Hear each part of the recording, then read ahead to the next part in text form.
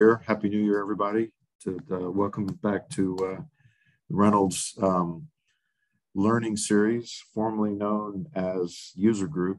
Um, this is our first meeting of the year, uh, January 18th, uh, 2023. I'd like to welcome um, all the panelists and all the attendees to uh, the first, our first uh, learning series um, update of the year.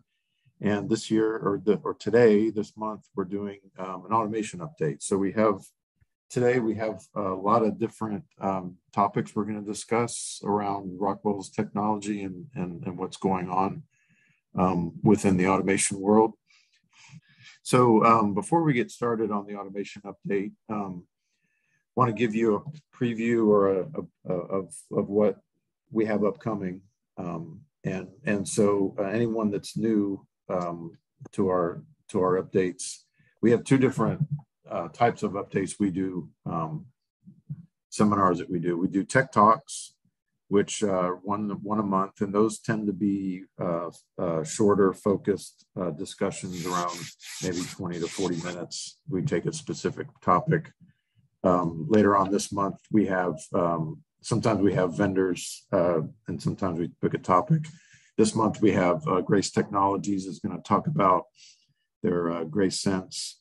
Um, you may know Grace uh, from their uh, Grace Port offerings of uh, many connect connections uh, that you may have with your your control panels, um, whether that's a power connection or or a network connection or what have you. Um, they're going to talk about their Grace Sense um, product line. So look forward to that. And uh, the next couple of months, we uh, we're planning a couple of cybersecurity updates. Uh, coincides with our general topic of um, security this quarter. So look for those. Um, we'll have those lined up here shortly. And then um, later on um, in the quarter, uh, next month, we're going to have a FactoryTalk Design Hub learning series. Um, and then we're going to do a network and security update. And so with our learning series, like today, um, we have a we, we pick a little bit more of a generalized topic and and uh, stretch out our presentation, usually to about an hour. Sometimes we go a little bit longer. Um, so next month is pretty exciting. Uh, the, if you don't, if you're not familiar with the Design Hub, that that is Rockwell's uh, cloud-based um, um, uh, portal or uh, development portal, if you will, and and so we're going to talk about the design hub and, and some of the different features uh, that are associated with it. So, so stay tuned for that. And then uh, in March, we'll do a, a, network and security update where we'll talk about you know, network automation topologies and, and, and what's going on with uh, cybersecurity. So hopefully, hopefully everybody can join us for those uh, learning series as well. So let's go ahead and move on. Okay, so today, uh, my name is David Newt. I'm going to be the first presenter today.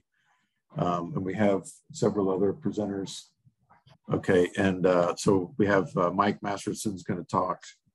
Um, and then uh, Wayne, uh, Wayne's going to going to talk about uh, Plant PAX. Michael Lett's going to talk about drives, and Kevin Peterson um, is going to talk about industrial controls. So, um, so we'll go ahead and get started.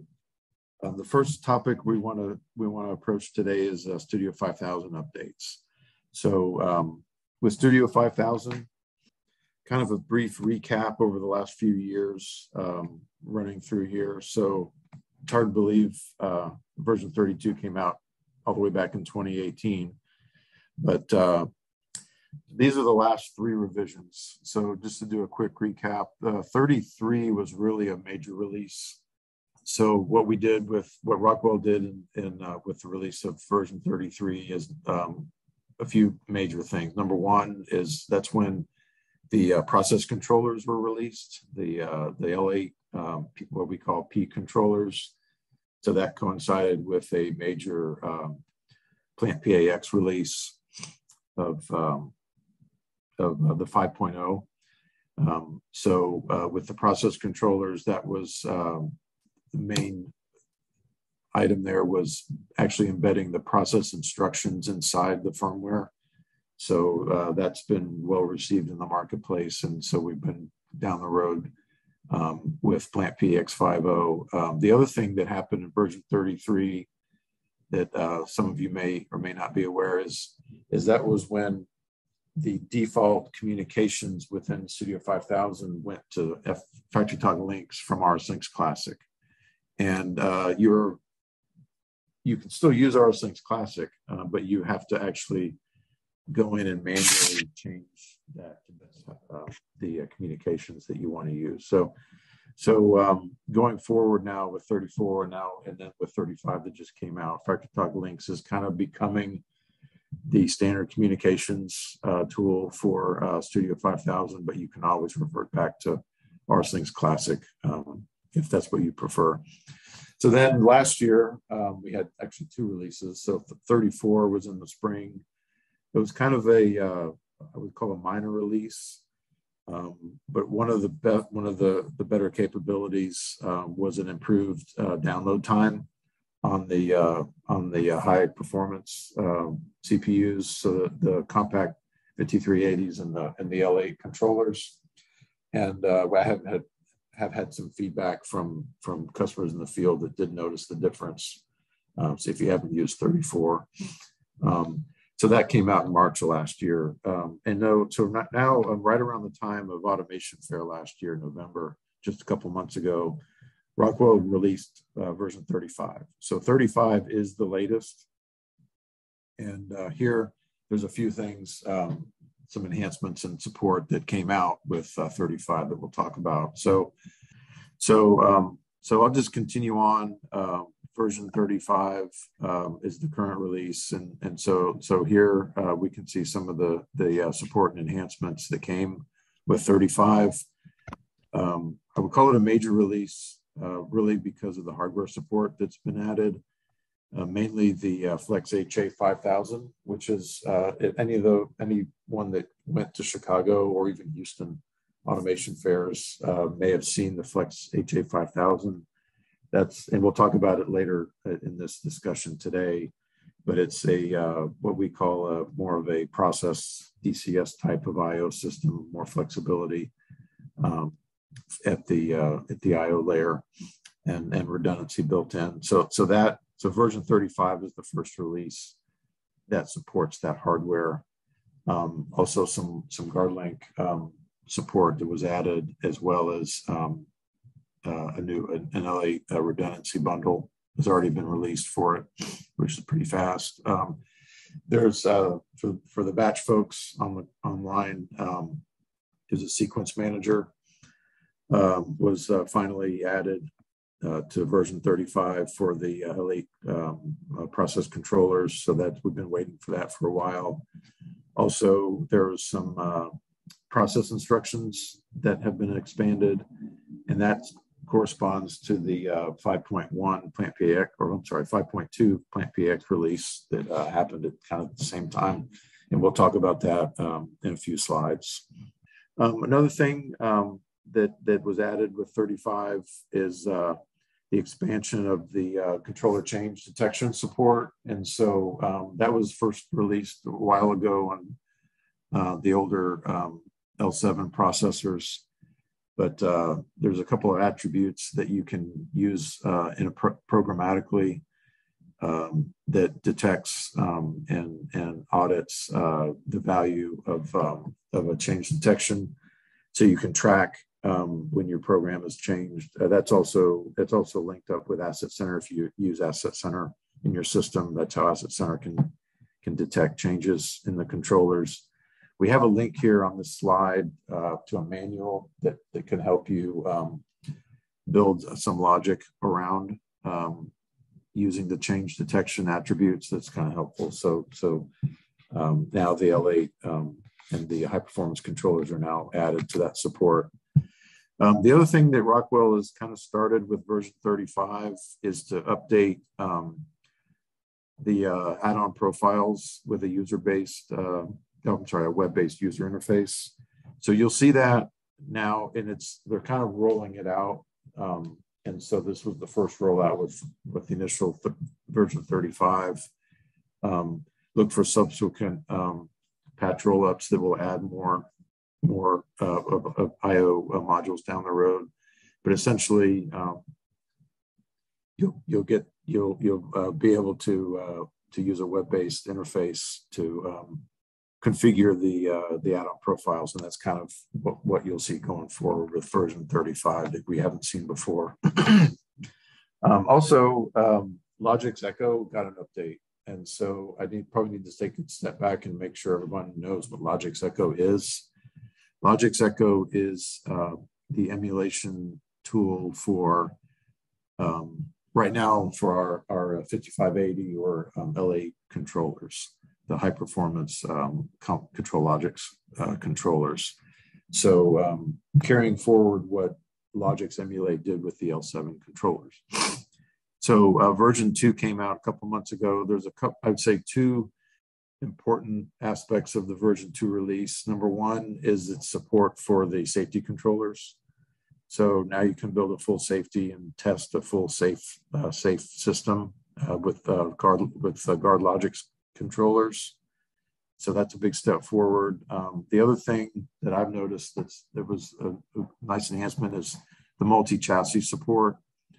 So in version one, um, if you wanted to use multiple controllers and the control, like each controller that you wanted to uh, to use in the system was in slot zero, you couldn't do that because version one only supported a single chassis in an application. And so that's been updated now. So you can um, create mul multiple chassis in a single uh, Echo instance, which, you know, I think honestly, most systems that we see, the, the uh, controllers are in slot zero. So that's a big enhancement.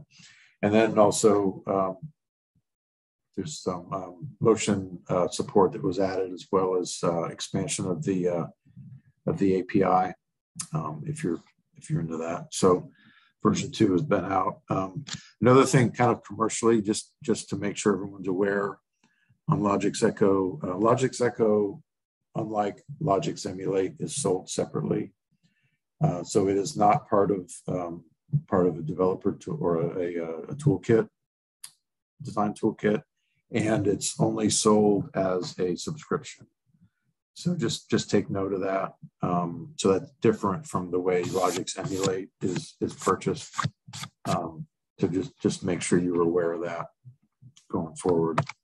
So some more system updates, um, and a lot of this is uh, is uh, life cycle announcements. So we'll go through these. Um, first of all, the ETAPs. Um, so Rockwell has recently announced um, that the ETAP line is going is gone active um, has gone from active mature to to end of life. Which what that means is Rockwell has gone into the future and estimated where they feel the uh, the end date or the the discontinuation stage will be.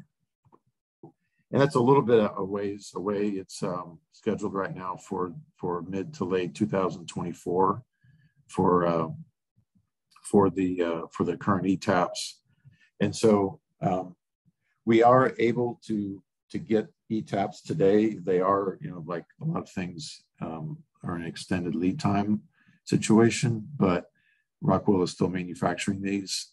Um, but what's happened is kind of the, the, the, good part of the story is, is Rockwell is, is redesigned, um, is redesigning the next generation ETAP that will um, include SFP ports. So we can, so in the future, in the new generation of ETAP, we will, we will be able to use um, more flexible networks uh, using uh, SFPs uh, for fiber. So we could use uh, multi-mode and single mode on the next generation.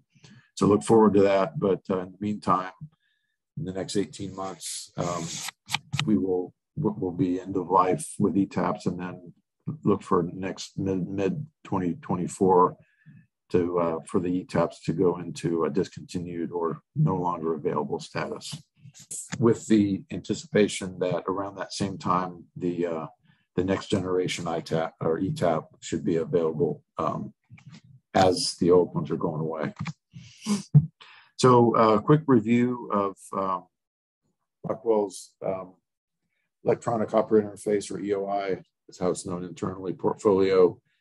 So the lower cost, we have our PanelView 800s. Typically, uh, we use those for standalone or islands of automation where we're talking to a micro 800 controller, single single controller, uh, fairly simple, um, um, built for purpose type of type of HMI. Our bread and butter is um, kind of in the advanced terminals or the PanelView Plus seven. Um, standard and performance, the uh, I would say the standards uh, we've had kind of some significant um, issues procuring the standards. So we're really um, recommending performance units. Those are a lot more available. Uh, uh, the lead times are much better. Um, and they're both programmed the same way. Uh, the standard also has some application limitations that, that uh, could bite you. Uh, can only talk with uh, standards can only talk to one controller and have a limited number of displays and, and alarms that you can use in an application. So the performance is really the right way to go um, with the uh, PanelView Plus 7 HMIs. Rockwell also does have a PanelView 5000. Uh, it's very focused uh, in the OEM markets. Uh, there's a limited um, third-party connectivity or very, basically zero. Uh, connects to a ControlLogix or a CompactLogix controller, and that's pretty much it. So if it's a encapsulated OEM uh, piece of equipment, it might be an option. Otherwise, if you're using an HMI to talk, you know, to a, whole system, and there's the Mo mobile view, which is a tethered system, mostly used in um, in discrete manufacturing, where you have um, where you have a the HMI is, is being held and tethered to to maybe a piece of equipment or an operation or something. Okay, so another, so a couple more life cycle announcements. Uh, the VersaView 5000 series, um, and that includes um, monitors, panel PCs, and thin clients. Um, Rockwell is fading those out, um, so they've gone end of life. Um, they've been in, out in the market for for a number of years. Uh, Rockwell had made an acquisition a couple of years ago uh, of a computer company, and so that's where we're we're transitioning to um, to the um, or the ASEM 6300s. So those, so the, the 6300 are uh, replacing the uh, VersaView 5000s. So, um, and Rockwell has rolled these out over the last really 12 to 18 months. So uh, now there is a new, um, recently released a dual display uh, thin client, 6300T thin client. There's an on-machine um, HMI or a panel PC, excuse me, that's um, that's that's just became available. Um, they are planning to release a new monitor this this quarter, and uh, and then there'll be some uh, Thin Manager Ready BIOS updates uh, that are that will be available here in the next couple of months on the industrial PCs, and and look for quite a few more rollouts of this product line going forward, um, as as you see, and and uh, now Rockwell has a lot more control over their industrial PC line because it is owned completely by Rockwell. Uh, so Rockwell doesn't need to partner with anybody. So we expect that to enable us to be a, a lot more custom, customizable with upcoming releases. Um, so continuing on on that mindset. Um, so we're going to look to see more um, industrial monitors released, the, the Thin Manager Ready um, uh, hardware, as well as um, more box PCs. Uh, there's also a, uh, a long distance option that um, I've run into some in, in some uh, in some uh, uh, control rooms where you may want to have a large, like maybe a large display, or you got a display on the wall, and you want to run that back to a PC. Um, the ASEM uh, product line does have one of those that, and that, we will be releasing that here in the next, this quarter, and then look for more um, panel PCs and, and monitors uh, the next quarters and beyond. And at that point, uh, I think we're going to switch to to Wayne, going to give you guys a process update. Like David mentioned, do a little process update real quick. Uh, first, my name is Wayne Welk, automation specialist out of New Orleans. Um, so uh, we'll start with FactoryTalk Asset Center. The uh, version 12.0 release uh, has uh, has come out, and uh, you know there's a few enhancements and a few improvements with the 12.0 release. Um, mainly a, a, little bit more modern web-based client um, there. They they've also improved some security, um, kind of a you can actually detect uh, compromised Logix controllers using the uh, source code validation uh, kind of schedule. Um, and there's also some disaster recovery schedules now that work with FactoryTalk Logix Echo as well. So um, we, we see more and more of the echo and the emulation um, happening. So uh, so Asset Center will will uh, work with that as well now. Um, so just a, uh, a, little bit of a screenshot on it, just to uh, give you a picture there, um, versus just talking about it. So there's some interest in FactoryTalk in, in Asset Center 12.0. You know, definitely reach out to us. There's we can kind of go over the you know more of the features and uh, and uh, enhancements perhaps uh, from previous releases. And then Plant PAX. So you know, so Plant PAX version 5.2 uh, was released around, I think, back in November timeframe. So 5.2 um, provided, uh, you know, an enhancement as far as kind of upping the, re the revision levels of the software, you know, that, that, come in the part of the release. So all, you know, kind of all the latest versions of Studio and FactoryTalk, View, SE, um, and Asset Center and Historian. So all those kind of get uh, get upped in those revisions. Uh, there's been a few other enhancements in the in the 5.2 release as well.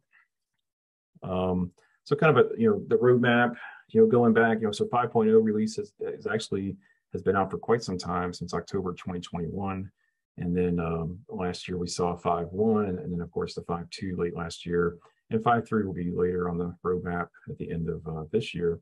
Um, but the, the 5.2, uh, you know, there's a process controller library expansion, uh, the release of sequence manager, the, the new Flex HA 5000 IO being supported in the system, uh, which is basically tied to the uh, version 35 of Studio 5000, um, as well as uh, some cybersecurity enhancements with the, the support of CIP security. So CIP security um, came into the L8 controllers, uh, I think at some point uh, towards the end of last year. And so now that CIP, CIP security support is, is in Plant PAX 5.2 and that CIP security will give you, uh, you know, encrypted, you know, endpoint to endpoint uh, encrypted the communications, you know, from a controller to a uh, to a Ethernet card remote rack that also would support CIP security uh, in that Ethernet card. The uh, kind of the other big news, you know, late last year, and if you had gone to Automation Fair, was the the, the release of the Flex HA 5000 IO platform. So uh, this is um, kind of our, our, our next generation process IO. Uh, it's capable of uh, being fully redundant IO. It is uh, universal IO as well. We have a, we'll have a picture of that here in just a moment. So each card is a is a, a universal IO card. So you got really one card that you would have to uh, stock and use. Um, uh, you know, so it's like I said, fully redundant uh, in that you can go simplex or redundant IO uh, in your application, and um, uh, just uh, some other bullet points there being built-in diagnostics, ease of wiring, and stuff like that. You can see it's a little bit of a radical look to it compared to maybe some other IO platforms that we've used in the past. But this is the um, this is the the look of what it's going to what it'll be. Uh, so on the Universal I.O., I know this is something that has been long on the to-do list from Rockwell and along on the uh, desire list from, from our customers and users. And that is a truly uh, universal I.O. module. So this single card can be analog in or out uh, with HART. It could be discrete in or discrete out by channel. Um, so you can, uh, again, one card to kind of uh, do them all. Uh, it's eight isolated channels, syncing and sourcing for HART. It's got a 16-bit uh, uh, analog digital analog converter. Uh, it it'll do a CIP sync for timestamps, and um, again, we can apply this as a as a simplex or as redundant or duplex I/O, depending on the requirements of the application. And um, so again, you know, one of the benefits here is uh, one card to stock uh, and can be used for pretty much any of your, your needs. Uh, the other mention there was in 5.2 release was the sequence manager. So this is, uh, you know, this has now been Um, Sequence Manager is is now in the in the L8 controllers. So um, you know, direct uh, phase manager program inside the Logix base controller. That support came to the L8 here just recently. So um, integrated with FactoryTalk Batch and uh, functions with the Plant PAX equipment phase objects. So um, uh, so again, if there's some interest here, reach out to us and we'll be more than happy to uh, discuss the, this new capability in more detail. And the other uh, the other piece for me is a, a, little bit of a software update, and and that is something that you're we're going to really spend uh, probably a fair amount of time talking about in the near future, um, and and that is this uh, FactoryTalk Optix uh, release from Rockwell. So we you know so we this is kind of the, the full portfolio look here. So you know we still have you know, machine level HMI. We still have panel views. We're still using Machine Edition. Uh, we still have the Panel View 5000 with the Studio 5000 View Designer. Uh, but we'll have a, a, new offering here pretty soon called the Optix panel uh, that will fit in that machine level HMI space. Then when it comes to scalable HMI, you know, we still have View SE. Uh, we still, of course, the Plant PAX uh, using the View SE for its HMI. And we'll have FactoryTalk Optix, uh, which we can run as well. And then, um, you know, kind of extending beyond HMI, we still have Thin Manager, we still have the, uh, the Historian, SE, Asset Center, and now we have a uh, kind of a new thing, remote access, to kind of to help us uh, remotely support um, our installed installations. So uh, David had mentioned Design Hub. Uh, this is going to be our topic for next month. So um, we won't go deep at this point, but just kind of a the real quick high level here. Um, so February learning series will be on the Design Hub ecosystem, and it's a um, it's it's Rockwell's you know moving to the cloud. Now it should be stated you know quickly and loudly that nothing is going away as far as you know we, we can still purchase a Studio 5000 license and install it on a computer. Um, we're not shifting everything to the cloud, but we have the ability now to use the cloud for our design um, for our design tools. So Studio 5000 will have a cloud-based um, uh, presence. We can actually log into our uh, design hub and we can go into design studio and we can actually do ladder logic or we could do you know application with a basically a studio 5000 instance that is in the cloud um, and deploy that out uh, to our our equipment in the field Optix Studio has will have a cloud-based uh, interface as well for developing applications, but once again, there's still a a downloadable version that we can put onto our computer and and not have to rely on the cloud if we don't want to. And then Twin Studio, which is basically our emulation software, things like Echo, uh, things like Emulate 3D and Arena, you know, we, will we'll have a cloud-based instance of, of a Twin Studio where we can, you know, do all of our emulation in the cloud. So it's really interesting concept. Um, it, it, so uh, invite you February for a little bit deeper dive. The other piece of that underneath is the vault. So that'll be kind of a, a place to store uh, all of our applications. And then the uh, next layer down there is remote access. So again, if we are utilizing the cloud, we may or may not be on on premise wherever our, our uh, equipment is deployed. So we could use um, FactoryTalk remote, remote access to uh, make those secure connections uh, remotely to the industrial equipment.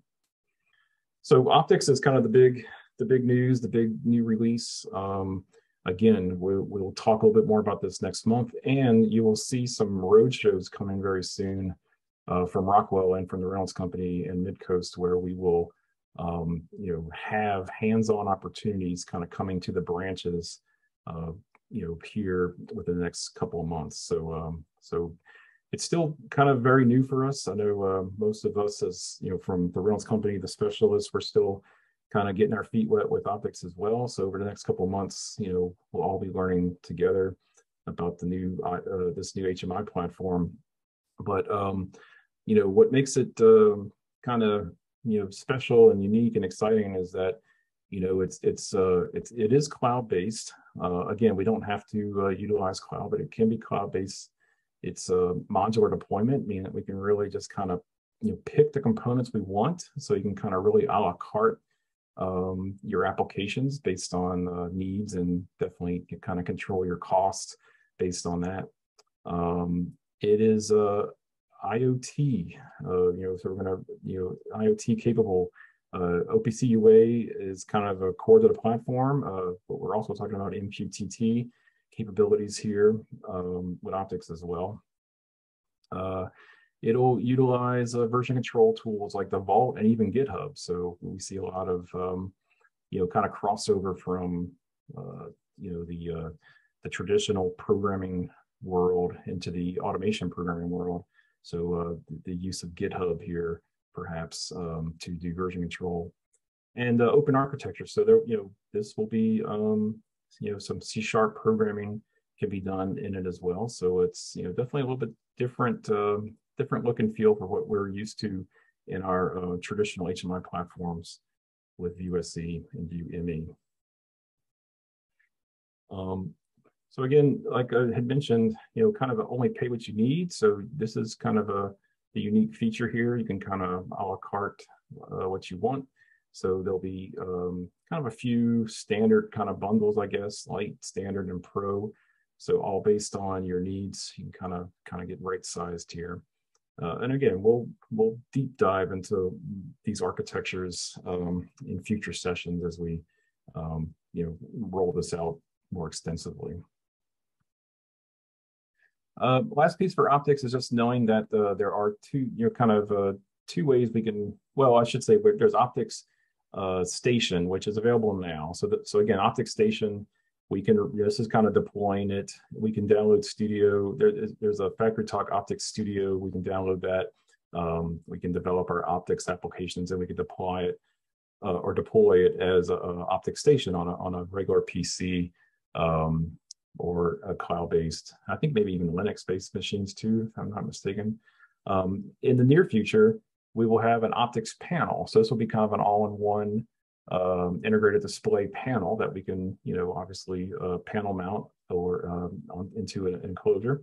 And then this this will give us everything we need to uh, to run an Optix application in that all-in-one unit. Um, so similar to a PanelView, uh, we'll have a uh, you know a panel um, option for Optix, all in one panel.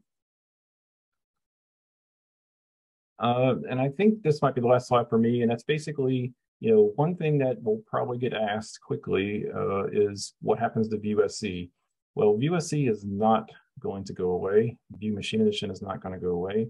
Um, Optix is just another uh, piece, another uh, product offering that we will be able to offer. So, you know, Again, it's just looking at you know what's the right uh, right tool for the application.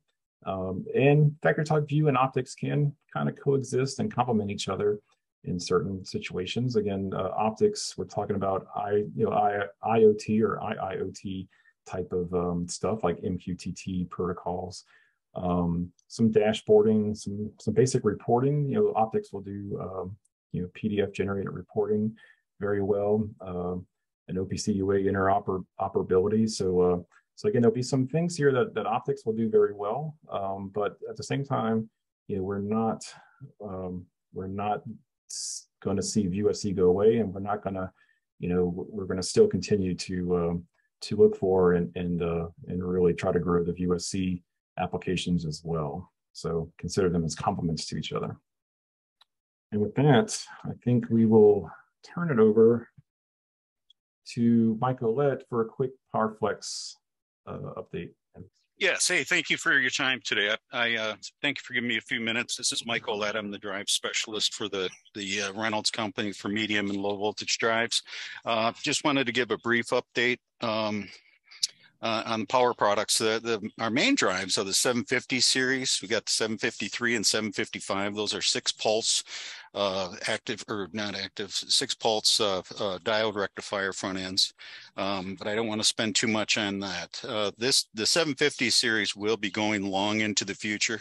In fact, all of our technology, even in the medium voltage drives, uh, is is going to be based on this similar technology that we're they're developing with the 750 series. Uh, this this is a seven as you see on the screen here is a 755 TL. It's a uh, it's an active front end drive. This drive is comparable to a 24 pulse a harmonic mitigation drive. So it does out of the box. It, will meet IEEE 519 or better. Um, you can get us with any your salesperson or any of us if you need that. Um, it is a step up, obviously, from the 753 and 755. But in that same family, we do have the TR, and, which is a regenerative drive, uh, still an active front end. And then we have the, the TM, which is a, uh, common bus configuration. That common bus configuration can be configured with multiple horsepower drives. They don't all have to be the same horsepower as long as they're common bus together. Uh, they can use the regenerative characteristics to, uh, to, to feed power and save energy to one another. Um, so that, that the 755 series and 755 TL, the TL goes up to 3,000 horsepower. That's in low voltage. Uh, there's talks of actually increasing that, uh, but keep in mind we do have our medium voltage uh, for that those needs as well. Um, some of the common components with all these drives are the the HIM module, the I/O cards, anything to do with uh, uh, communications. Um, so moving on. We got the uh, 755, next slide, 755 TS. The TS is, is, uh, is offers the same technology as far as the TL, with the exception this drive is a six pulse instead of the TL. The TL is an 18 or, or better pulse, 24 pulse. Uh, the 755 TS is actually gives us some uh, added features.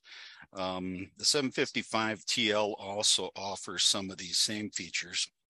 I don't mean to be jumping around on you, but pretty much the only difference is the TS is a six pulse drive, but the total force technology is available in both, which allows adaptive tuning. So say, for example, if you've had, uh, you've had to uh, do skip frequencies in the past, uh, with this drive, it'll, it'll automatically, intelligently uh, see those. It's got to be programmed to do this, but it'll see those uh, resonant frequencies in the process and the mechanics and actually skip over them or drive through them. Uh, it's total force control, so we do have uh, we do have feedback from the motor uh, as well on all that. Uh, predictive analytics. Um, you know, we used to call it predictive maintenance, but now we've moved to another level. Predictive analytics just allows us to uh, program in like the uh, uh, possible life of even the IO cards, uh, the fans, a lot of that can be programmed in. So it will flag either through ethernet or, or through uh, other means, hard, hardwire communications. It'll flag that maintenance is required or going to be required to keep the whole process from shutting down. It's all about uptime. Um, so the, these, all of these drives, the 750 series, all the way through uh, 753, 755, TL, and TS, uh, will can use the Studio 5000 software for programming. Uh, we can also use the Connected Components Workbench, which is a, a free online downloadable software, uh, which which I use daily. That's uh, that's definitely a, a, a, something that everyone should have. Another means for programming, don't know if I said it, would be the HIM module as well. Uh, one thing I do want to leave you with is the, the TS family here. Uh, you can see the TS and then the TS down in the right hand corner of that drive is the XT. The XT does have corrosive uh, resistance uh, up and above our standard conformal coating that's on the boards. Uh, it does have an advanced coating system, which is is it's a special process, which is ASTM uh, B485. It's a method K approval. It's a 30-day exposure test that actually accelerates the uh, the, the long-term. Um, obviously, over over a period of so many years, it would appear to be the process is, is extrapolated to to uh, prove it within so many years, like five or ten years of corrosion resistance. And that's if you've ever opened up a, a drive or any enclosure, uh, especially around the power uh, power components where you see uh, the black buildup. It's it's actually like dendrite, they call it. Uh, but that's a corrosive uh, corrosive buildup on boards that can cause failures. Uh, the XT family is uh, takes it a, uh, into that new level of protection, so you don't have those issues for for corrosive environments, mostly like um, you know gaseous type environments and stuff like that. So it is a, a GX and a CX. It's ISA and IEC standards approval to meet those. And um, um, again, I think that's uh, that pretty much sums it up. This drive, this this drive only goes to I mentioned the other the TL goes to 3,000 horsepower. Currently, this drive the TS is up to 400 horsepower. So, but if you have any needs or any uh, uh, uh want to see anything further, we can even come on site and do some some product updates more in depth. Uh, this is kind of a, a quick overview, but uh, that's all I've got for today. I appreciate your time. Good morning, everyone. Uh, my name is Mike Masterson. I'm an automation specialist out of Houston, and today I'm going to talk briefly about our small controllers. Um, before I even go to the next screen, I want to make everyone aware the Micrologix family is dead now. It's it's officially end of life. That includes the uh, 1100s, 1200s, 1400s. And um, if you haven't made the, the migration, please look at the Micro 800 line. So let's talk about that. So with the Micro 800 line, I want to make everyone aware that there is a new gen of the Micro 850 and 870. Um, these controllers have uh, built-in I/O similar to the Micrologix 1400, but what they did is you notice there's an E in the new part number, the 2080 LX0E. Anything with the E in the part number now is going to be the new family of controllers. Um, that is all you can get these days. The older controllers are um, have been uh, put into end of life and but these should be a drop-in replacement for any of those. The part number nomenclatures follow the same pathways, so it should be easy for any migrations. Some of the features that we have put into it is um, th- there is DNP3 protocols been put into it, but we have also um, uh, enhanced our class one messaging. So this is class one messaging is what makes us be able to control our drives with a ControlLogix or compact logics or have that real tight integration. Um, so what we they've done with the Micro 800E series is um, they have put eight con- uh, class one connections in it. So now we can actually drop in a PowerFlex 500 series or a micro um, or a uh, one of our Kinetix 5100 servo drives and um, it have tight integration with the Micro 800.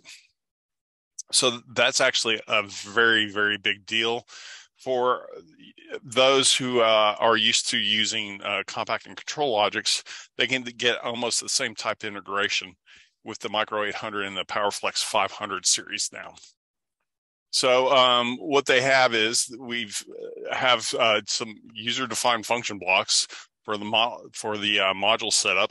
They've done one for the PowerFlex 520 series that Kinetix 5100. And they also have a generic device. Now, uh, we'll get back to you on the ge- generic device profile because this is something new to me. But we might actually be able to do some rudimentary IO control with that block. We haven't messed with it yet, so we'll be getting back to you as we experiment with it. But the PowerFlex 520 and the 5100 um, profiles do exist and they work very well. And as you notice, uh, the controller IO tree looks very similar to what you would see in a Studio 5000 environment.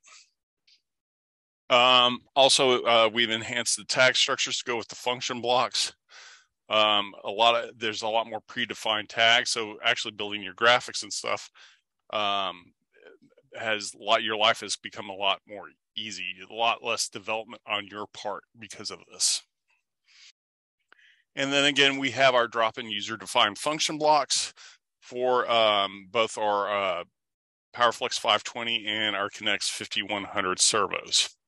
So um, if those function blocks look kind of familiar, um, we're using the same approach that we would use in a Studio 5000 environment, but we're doing it with within a CCW type project. With that, I'm going to hand it over to Kevin Peterson to talk a little bit about his uh, the 42 uh, 432 ES GuardLink um, interfaces. Uh, thank you, Mike. I appreciate that. Uh, good morning, everybody. This is Kevin Peterson. I am industrial control specialist with the Reynolds Company. And I want to introduce you to a product that Rockwell has came out. They uh, showed it at Automation Fair this past year for the first time. And what it does is give, gives a little uh, more, uh, it gives you another choice for, for hooking up your uh, CIP safety over Ethernet IP if you have that for a project. So, like I say, brand new, and uh, I'll go into uh, a, a, quick review of this. Uh, basically, for everybody out there, uh, GuardLink uh, explanation is basically a uh, device level safety linking technology. it connects in series safety input devices via the GuardLink comms port, port protocol, allowing for device di diagnostics to flow back to your PLC via the Ethernet IP. Uh, historically, in the past, this was done by wiring auxiliary contacts to each safety input device and then landing that on an input card uh, via a, a la home running it, if you will, uh, for each individual contact. So, of course, this is very expensive to do this with the high wiring cost and then the cost of additional I/O cards that you need to to land these uh, auxiliary contacts on. Uh, with GuardLink, these costs go away as it consists of pre-made cables daisy chained to each input device all the way back to the PLC, bringing you diagnostics via Ethernet IP. So here's a picture of the brand new 432 ESIG3, uh, world's most advanced serially connected safety input solution.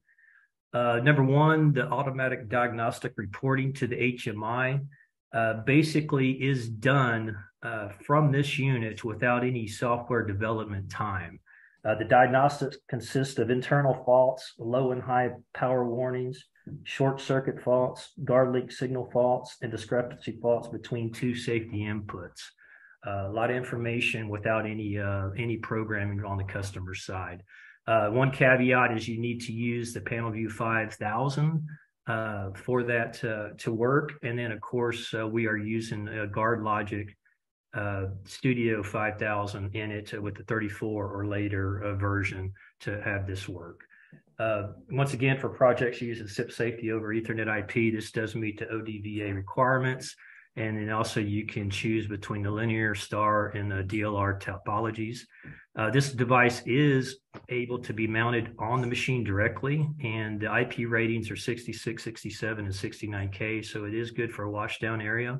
Uh, it also can be stuck in the cabinet with the uh, with the uh, with the control devices as well, if, if necessary uh, patch cord and cord set wiring. So basically, it has its own uh, pre-made cords that come with this, and this, of course, reduces your wiring costs with no home runs, and then also troubleshooting. So you have one cable as opposed to multiple cables going back.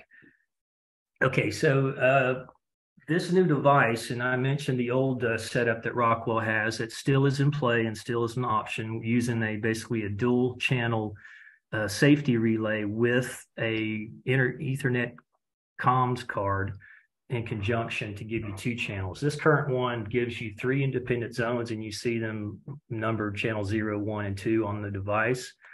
Those zones can handle up to 32 devices uh, for each of those zones or each channel, if you will. Uh, the zones can be used as three separate machine zones, or you can do a combination of one or two, depending on how many devices, what you need to do uh, separate module and output wiring.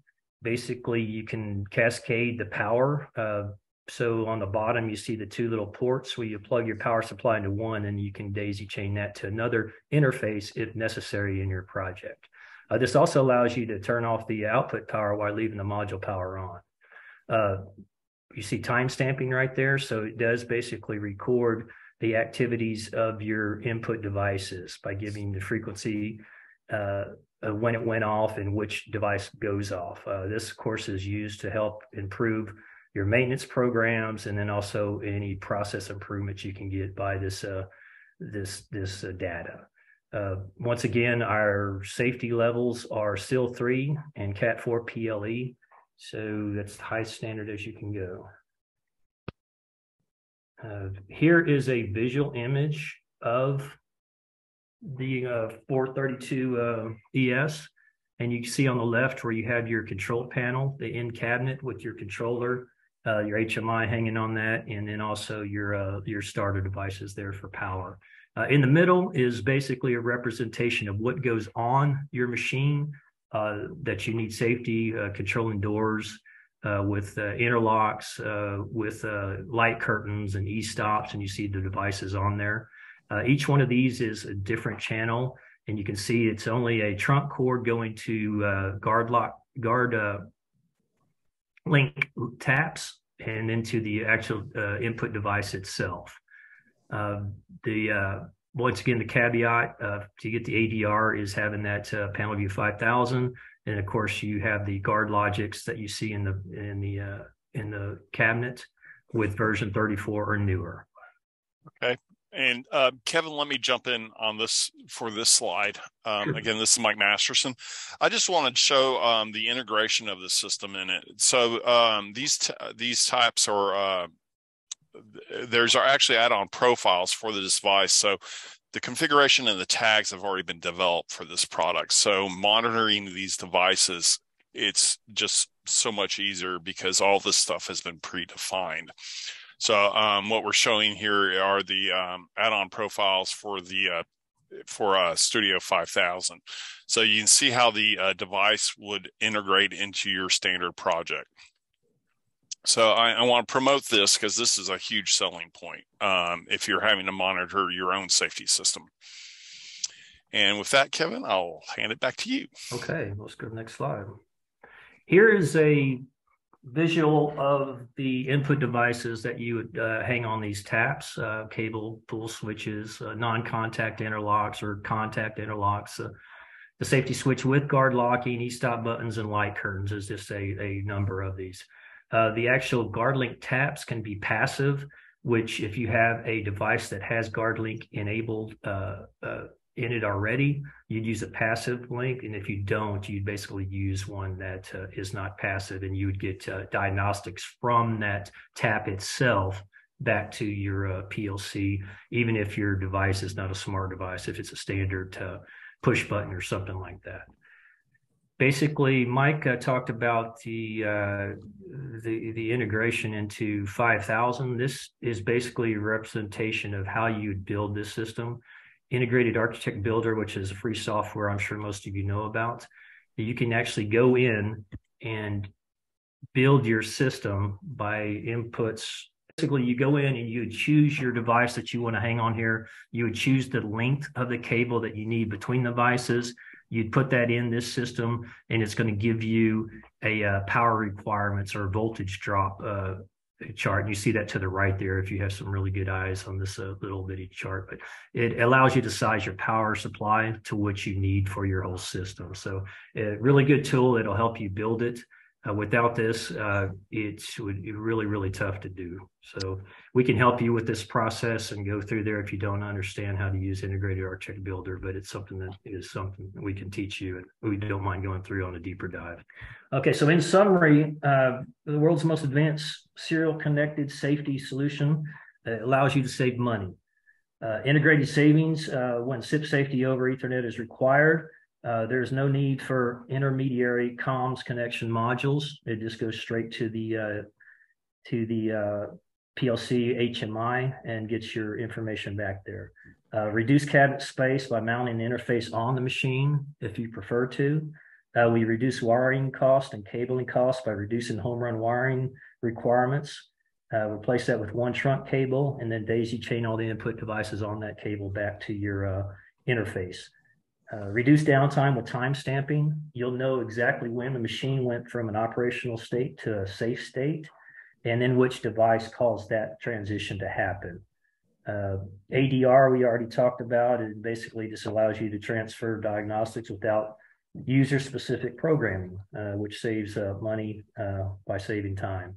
Improved diagnostics reduces downtime with individual input device time stamping, as we mentioned as well. So uh, that's all I have. We can do a deeper dive if you guys want to. Just contact me. Um, uh, the information will be on there, and uh, that's all I have. Thank you. Thanks, Kevin. I guess the final topic here we have a training update, and uh, so um, you know, as as hopefully everyone knows, um, Reynolds is your is your connectivity to uh, Rockwell Training, and so this is a list of uh, all the Learning Plus um, available training classes that we have. Um, you know, notice and control drives, motion, HMI, even plant PAX, safety, um, even legacy products. So, um, and this is kind of an eye chart, but just to give you an idea, um, these classes are available in different formats. So, so there's uh, some of these are virtual available, um, and then the rest of these are are, are what we call in person or uh, e-learning classes. So, so quite a quite a quite a few. I guess that's our last slide. Um, it is. Don't know if there's anything else. If anybody had a chance to look at the chat, if there's anything in the chat. If not, um, if we're coming up to that time, appreciate everyone's attention and uh, look forward to uh, to the next uh, learning series next month. Thank you very much.